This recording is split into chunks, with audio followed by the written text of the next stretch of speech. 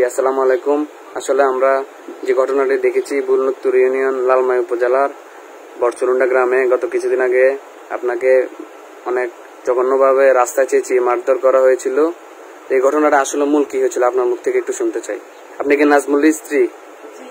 জি। আপনার মুখ থেকে শুনতে চাই। আসলে ওর সাথে আমার পরিচয় হয়েছে একটা ফার্মেসির মধ্যে ওষুধের প্যাকেটের মধ্যে নাম্বারটা দেয়। তখন থেকে ওই ছেলের সাথে আমার রিলেশন হয়। তখন আট মা- নয় মাস পরে ওর সাথে আমার বিয়ে হয়। বিয়ে করার বিশ দিন পরে ওর আম্মু আমাদেরকে আলাদা করে দেয়। ওকে রাখে এক ঘর, আমাকে আরেক ঘর। এরকম, এরকমে আমাকে ওর সাথে কোনো রকম যোগাযোগ করতে দেয় না। তখন ওর পুরো ফ্যামিলি আমার সাথে টর্চার শুরু করে। তখন আমি সহ্য করতে পারি না। মানে অনেক বিভিন্ন ধরনের মারধর ও আম্মা পুরো ফ্যামিলি তখন আমার স্বামীর সাথে আমি দেখা করতাম যাই ওদের বাড়িতে।